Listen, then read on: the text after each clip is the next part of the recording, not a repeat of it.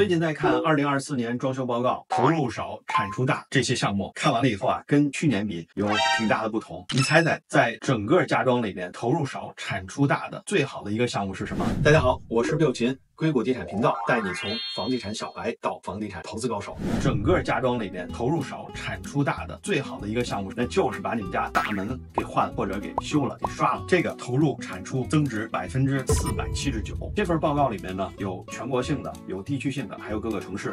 我们就以三 C 为例，换一个大门差不多两千三百块钱，但是给你的房子增值差不多一万两千块钱，增值将近百分之五百。第二名还是换门，是换的车库的门，把你们家老旧的。古董的那些车库门都给它换掉，换上这种新式的带玻璃的特别好看的车库门。马达做成智能家居的，这样给你带来的增值是百分之三百五十。我们假设换一个车库门四千三百块钱，给这个房子带来一万五千的增值。第三名呢，就是外墙的装饰砖，有好多特别好看的那种装饰的那种石头的小砖条，把它贴在外墙上，给你带来接近百分之三百的回报。花一万两千块钱贴小砖，房子增值三万五千块钱。再往下排，我给大家简单说一下，就是厨房的简单装修，换个电器，把橱柜刷一刷，带来百分之一百七十的增值。进门的地方你把它装饰好一些，用 fiberglass 给它做一些玄关，这个带来百分之一百九十二的增值。把你后花园做一做，然后做一些这个露台，这个带来百分之一百三十六的增值。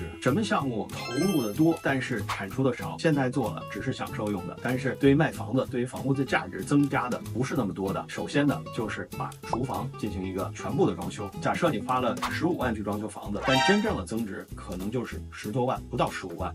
所以这个的投资跟回报的比例是百分之六十二。我再给你说一个，在这份报告里面最差的一项就是家电房间，这个投资回报只有百分之四十。刚才说的都是我给大家念这份报告上的。如果你有兴趣啊，我发给你。那如果你有不同的意见呢，也别拍砖，我给你报告，仔细看看。